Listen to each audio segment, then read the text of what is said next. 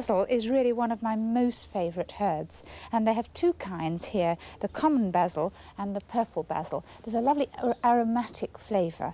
It's a very tender plant, an annual, and in the winter it just dies down. So at this time just cut the leaves, chop them and add them to butter. Then you can freeze that and have it like maitre d'hotel butter and add it to something like uh, potatoes in a lovely creamy white sauce.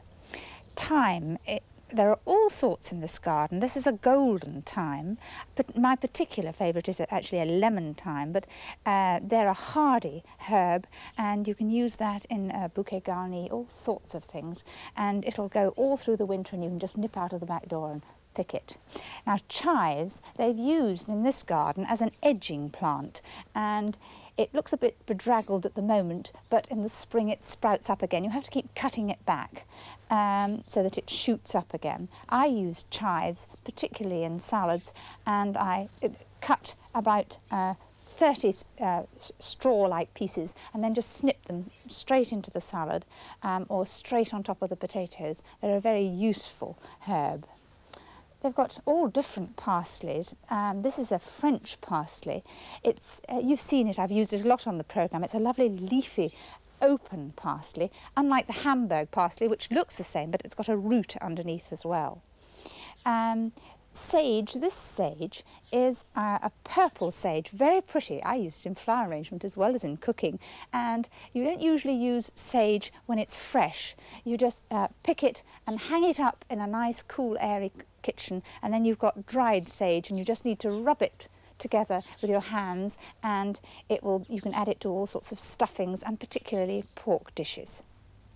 You might think it's strange to have marigolds in a herb garden, but you can use the, the petals in a salad. And behind the marigolds are fennel. It always need, wants to be right at the back of a herb garden. It takes up such a lot of room. It's got a, a very feathery leaf and it has an aniseed flavour. And this nearly knocking me over is angelica. And those people who want to do uh, sugared angelica, crystallised angelica, can use the stem. Something I like very much is uh, watercress and there's now a herb, landcress. I hadn't heard of it before and it's an annual and you just sow it not in a row but just over a patch and it comes up just like watercress, looks very similar with a big leaf and it tastes like watercress and very useful just to put a few leaves in salad or when you're making sandwiches and you don't have to go and buy a whole bunch. And in the front here, cowslips. I wondered why cowslips, but I was told that it's for cowslip wine. This is very pretty. This uh, plant, it's called a curry plant. It's got a lovely aroma. It smells like a good curry powder, but it's good for decoration, but not actually to use in dishes. And in front, the savoury, this is winter savoury, summer savoury I like even more, and I use that when perhaps I'm doing just chopped herbs to flavour a dish. And the marjorams, again a herb I use an awful lot. Mainly I think because it grows so easily and once you've planted it it's a perennial and up it comes each year. Um, and the slightly golden one is, is a, a golden one and you can also get a variegated one. And then another kind of chives, this time Chinese chives. It's a pretty feathery plant. It has a, a, thin leaf, a flat leaf, and when it's in flower it has a pretty white flower, rather stronger than the common chives that we know. And then of course parsley that we know so well and use in so many dishes.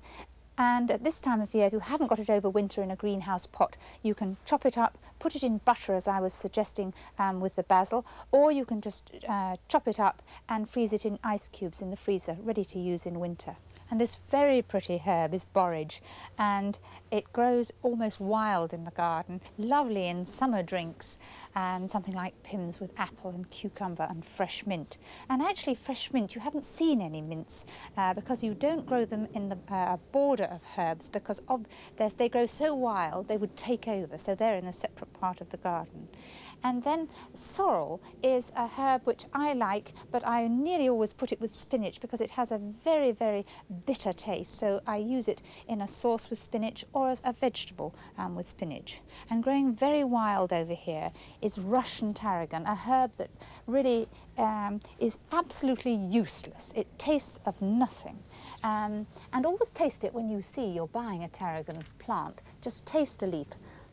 And this is just wetting out you want to buy French tarragon, the real French tarragon, which is a very delicate plant and it will go over the winter, but you've got to mulch it and uh, cut it down a little bit at the top and then mulch it and it'll be lovely, uh, spring up again next year. This is French tarragon and it has a slightly aniseedy flavour and it, it needs to be taken from root cuttings and that's why it's so expensive when you buy it. You'll, um, and then when you want to have uh, a bunch of herbs, a bouquet garni, and usually parsley, but use keep the, the tops of the parsley um, to use chopped in another recipe because it's a shame to put those into a casserole just for flavouring. So just put those to keep them to one side.